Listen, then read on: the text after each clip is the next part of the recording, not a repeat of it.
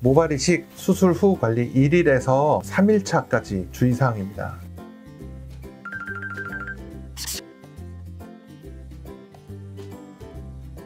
수술하고 하룻밤을 주무셨어요. 절개식을 수술하신 분들은 조금 더 통증이 있었을 수 있고요.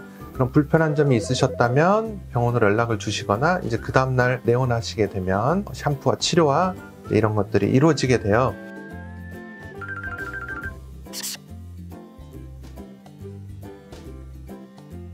1일에서 3일차까지는요 이식모의 생착의 가장 중요한 기간입니다. 72시간까지. 이 기간 동안에는 어, 무리하지 않고 가장 주의를 해야 되는 시기가 되겠어요. 금주 금연이 중요하고 무리한 업무를 한다든지 운동도 절대로 피해야 되는 기간이 되겠습니다. 다만 일상적인 생활은 다 가능합니다. 그리고 병원에서 처방해드린 약은 꼬박꼬박 잘 챙겨 드시고요. 이 약에는 기본적으로 진통제, 소염제, 그리고 염증을 막아주는 항생제를 포함하고 있습니다. 간혹 이 약을 드시고 나서 두드러기가 있다든지 속 쓰리는 증상 등이 있는 경우가 아주 드물게 있을 수 있는데 이런 경우는 병원으로 문의를 주시면 되겠습니다.